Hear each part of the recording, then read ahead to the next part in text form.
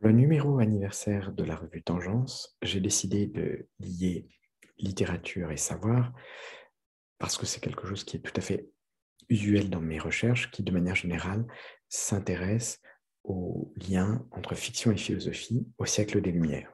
Pour cet article que j'ai proposé pour la revue Tangence, je me suis intéressé plus particulièrement à l'expérience de pensée, qui est une modalité discursive qui permet précisément de euh, croiser euh, textes littéraires, textes philosophiques et même discours scientifiques. L'expérience de pensée est une modalité particulièrement fréquente dans la pensée des Lumières. Et pour le montrer, je me suis appuyé sur la typologie proposée par Stéphane Chauvier dans un livre qui s'appelle Le sens du possible, euh, publié chez Vrin en 2011. Euh, donc, euh, selon la typologie proposée par Stéphane Chauvier, je distingue d'abord des expériences de pensée empathiques, euh, c'est-à-dire qui sollicitent l'empathie du lecteur et qui sont particulièrement fréquentes dans la pensée empiriste et sensualiste. il s'agit de faire accéder à une connaissance que le lecteur porte en lui sans le savoir.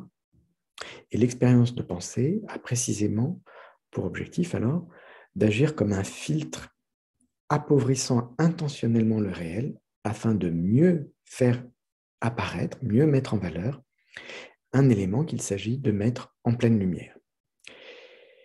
Et à côté de ces expériences de pensée empathique, il y a un autre type d'expérience de pensée que, à la suite de Stéphane Chauvier, on peut appeler des expériences de pensée exploratrices, qui, quant à elle, ne cherche plus à dissiper une confusion ou à dévoiler une réalité occultée, mais plutôt à faire accepter des énoncés nomiques que la réalité se refuse à illustrer. Et de Fontenelle à Diderot, une part essentielle de la pensée des Lumières invite euh, de cette manière à concevoir des possibles qui dépassent la sphère du connu. C'est pour cela qu'on peut, les appeler des expériences de pensée exploratrices.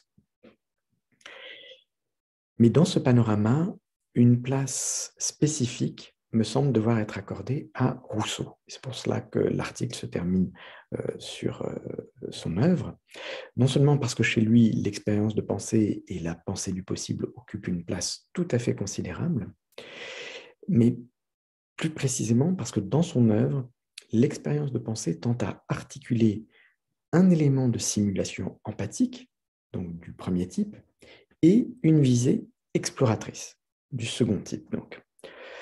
Autrement dit, je voudrais montrer dans cet article qu'avec Rousseau, l'expérience de pensée n'ouvre plus seulement à la spéculation.